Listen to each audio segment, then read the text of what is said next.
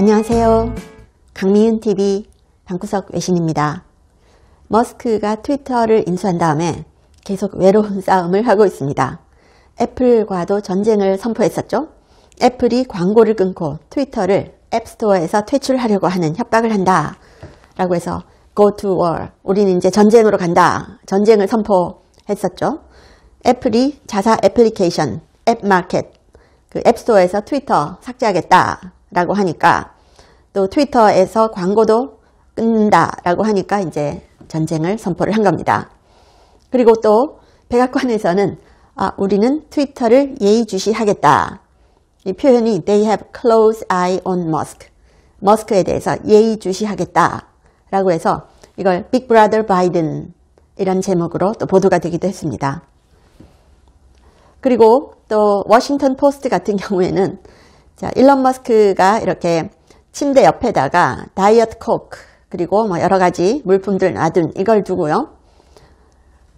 기사를 쓰기도 했습니다. 어, 트럼프와 똑같네? 그 이유가 뭔지 아세요?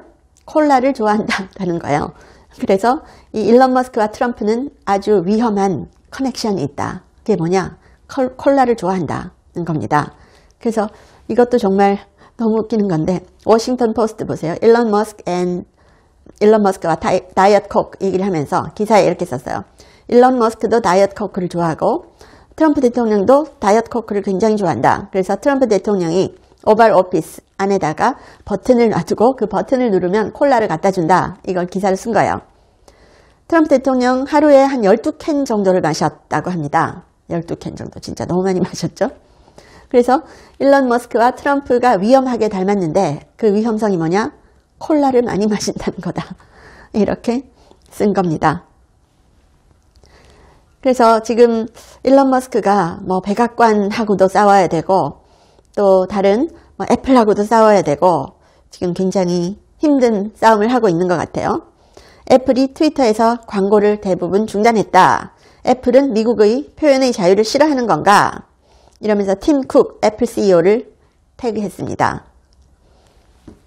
그리고 애플은 앱스토어에서 트위터를 보류하겠다라고 위협했지만 그 이유는 설명하지 않았다. 애플은 고객에게 영향을 미치는 모든 검열 조치를 발표해야 된다. 이렇게 비판을 했습니다. 또 이 애플이 갖고 있는 앱스토어 인앱 결제 수수료도 머스크가 언급을 했는데요. 애플이 앱스토어에서 구매하는 모든 것에 30% 세금을 부과한다. 이러면서 이 30% 수수료를 내느니 애플과 전쟁을 하겠다. 뭐 이런 뜻의 이미지도 게재를 했습니다. 애플은 별다른 반응을 보이지 않았습니다. 로이터 통신에서는 자, 애플은 예전에도 이 앱스토어에서 보수층에 인기 있는 그 갭, GAB하고 또 팔러라는 이 플랫폼을 앱스토어에서 제거한 바 있습니다.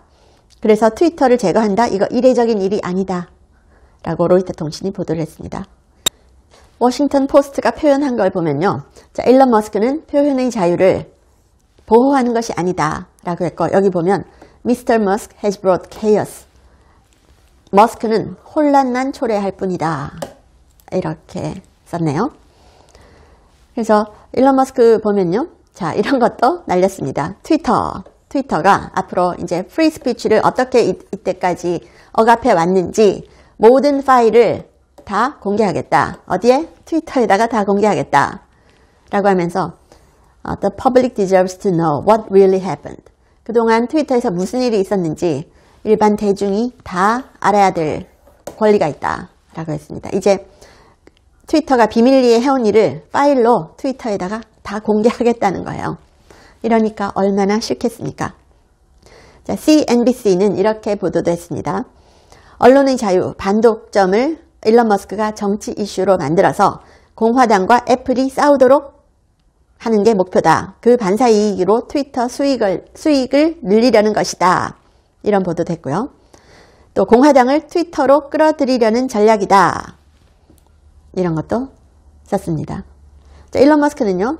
자, 애플이 모든 검열 이런 것을 다 publish 해야 된다고 생각하느냐라고 했더니 85%가 yes라고 대답을 했습니다. 여론조사 했더니 이렇게 돼 있죠. 그래서 애플이 도대체 표현의 자유를 싫어하는 거냐? 이런 트윗 날렸었고요. 그래서 애플이 그30% 인앱 수수료 여기에 대해서 불만을 갖고 있고요. 또 이 머스크의 이런 트윗에 대해서 공화당 소속 란 드산티스 플로리다 주지사도 즉각 반응을 했습니다. 드산티스 주지사는요 이렇게 얘기합니다. 만약 애플이 앱스토어에서 트위터를 없애려 했다면 이건 엄청난 실수다. 이것은 애플이 독점권을 가지고 있다는 것을 보여주는 것으로 의회가 이에 나서서 조사를 해야 된다. 이렇게 얘기를 했습니다. 그러면서 어떤 나라도 독점권 행사를 허용해서는 안 된다. 이렇게 발언을 했어요. 자, 머스크가 논쟁의 중심에 애플을 세우는 데는 그런 이유가 있습니다. 트위터의 지난해 매출 약 90%는 광고에서 나왔습니다. 그런데 머스크는 앞으로 이제 트위터의 구독 서비스 트위터 블루를 하겠다라고 했는데 자, 이렇게 되면 어, 애플의 인앱 수수료 30%가 중요한 사안이 되는 거죠. 그래서 이렇게 얘기를 하고 있다는 분석이 나오고요. 또 그런가 하면 페이스북의 저커버그 또 어, 일론 머스크의 애플과의 전쟁에 지원 사격을 나섰습니다. 이거 웬일입니까? 자, 어, 메타의 최고 경영자 마크 저커버그가 뉴욕타임스 딜북 서밋에 나와서요. 애플의 앱스토어 정책을 정면으로 비판을 했습니다. 저커버그는 애플이 기기에 어떤 앱이 설치되는지 일방적으로 컨트롤을 하는 유일한 회사임을 스스로 드러냈다. 이런 방식은 지속 가능하지 않다. 애플이 고쳐야 된다는 거죠. 그리고 트위터가 애플과 대립하고 있는 것에 대해서는요. 머스크에 대해서 저커버가 이렇게 얘기를 합니다. 어떤 방식으로 접근할지 매우 흥미롭다. 모두 성공하기는 힘들겠지만 일론 머스크가 어, 승리할 가능성이 일부 있다. 이렇게 일론 머스크에 대해서 지원 사격에 나섰습니다. 그리고 머스크가 추구하는 자유 발언에 대해서는 한 사람 혹은 한 회사가 모든 결정을 내려서는 안 된다. 메타처럼 독자적인 감독위원회가 필요하다. 이런 얘기를 또 했네요. 또 그런가 하면 세계 최대 음악 스트리밍 서비스 스포티파이라고 있죠. 스토, 아, 스포티파이의 수장 다니엘 에크 CEO도 머스크의 애플 공격에 합류했습니다. 이 스포티파이 수장이요. 애플이 앱스토어에서 개발자에게 부과하는 30% 수수료 문제 이걸 비판했습니다.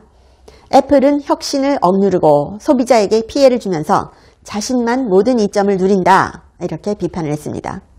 그러면서 애플은 소비자에게 선택의 환상을 개발자에게는 통제의 환상을 제공한다. 우리는 행동해야 된다. 목소리를 높였습니다. 어, 스포티파이는 자, 애플의 30% 수수료가 인위적인 비용 상승을 유발한다. 라고 하면서 여러 나라에서 애플을 상대로 반독점 소송을 제기한 바 있습니다. 그런가 하면 EU에서도요, 머스크에게 경고장을 날렸습니다. 트위터 유럽 시장 뜨고 싶냐? 라고 하면서 가짜뉴스, 표적 광고, 투명성 이런 문제를 EU가 지적하고 있습니다. 그래서 어, 새로운 법안을 내겠다. 트위터에다가 거액의 벌금을 부과하거나 퇴출 가능하도록 하는 이런 새로운 법안을 만들겠다라고 위협을 하고 있네요. 자, 일론 머스크는 이렇게 씁니다. This is battle for the future of civilization. 문명에 대한 전쟁이다. If free speech is, not, is lost, even in America. 만일 미국에서조차도 표현의 자유가 없어진다면 독재 밖에는 기다리는 게 없다. 표현의 자유는 너무나 중요하다 라고 계속 얘기를 하는 거죠. 이건 문명에 대한 전쟁을 벌이는 거다. 만일 미국에서조차도 표현의 자유가 없어진다면 우리를 기다리고 있는 건 독재밖에 없다. 라는 거죠. 어, 일론 머스크가 애플과 일단 갈등을 조금 봉합하는 그런 모양새를 보이고 있습니다. 팀쿡 CEO를 만났다고 합니다. 팀쿡 CEO를 만나서 어, 애플을 애플 앱스토어에서 트위터를 퇴출하는 것은 뭐 아직 검토는 하지 않았다. 팀 쿡이 이렇게 얘기를 했다는 겁니다. 그래서 어 뭐 좋은 대화를 했다라고 트위터를 날리면서요. 트위터가 앱스토어에서 제거될 수 있다. 이것을 애플이 고려하지 않겠다고 팀 쿡이 분명히 말을 했다는 겁니다. 말하자면 팀 쿡이 이게 일이 커지니까 어, 최소한 트위터에서 어, 트위터를 앱스토어에서 퇴출하는 것은 고려하지 않겠다. 이걸 확인해 준 거죠. 아직 앱스토어 수수료 문제에 대한 언급은 없었습니다. 하지만 극단적인 갈등 양상은 좀 누그러진 것으로 보입니다. 자, 그런가 하면 이 케빈 맥카시, 낸시 펠로시 뒤를 이어서 하원 의장에 유력한 사람이죠. 아마 내년 1월에 어, 취임을 할 것 같은데 공화당 중에서도 이 케빈 맥카시의 반대표를 들고 난 사람이 다섯 명 있습니다. 또 이 사람들을 라이노라고 해야 될까요? 그래서 다섯 명 얘기를 하고 있는데 자 기자들이 물어봤습니다. 어, 최근에 백악관이 일론 머스크에 대해서 keeping an eye 예의주시하고 있다고 말한 데 대해서 어떻게 생각하느냐 이렇게 물었거든요.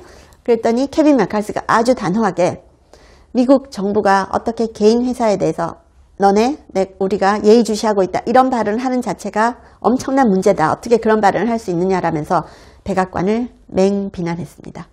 그래서 트위터가 외로운 싸움을 벌이고 있지만 실제로는 또 지원 세력도 있고 또 여기에 대해서 반대하는 사람들도 있고 그래서 워싱턴 포스트에서는 혼돈을 몰고 오는 일론 머스크 이렇게 얘기하는데요.